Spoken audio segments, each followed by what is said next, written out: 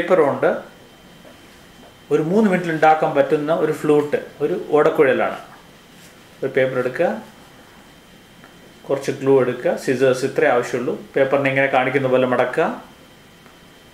എന്നിട്ട് ഈ കാണിച്ച പോലെ വരച്ചിട്ട് കട്ട് ചെയ്യുക. സിസേഴ്സ് ഉണ്ട്.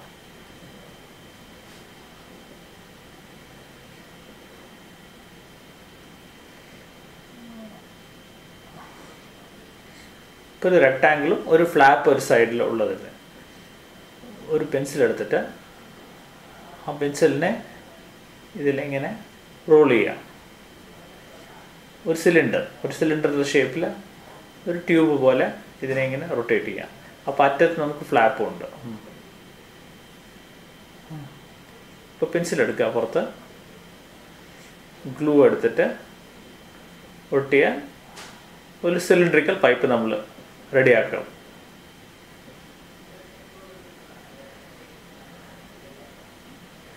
ഒരു മെലിഞ്ഞ പേപ്പർ ട്യൂബ് റെഡിയായി.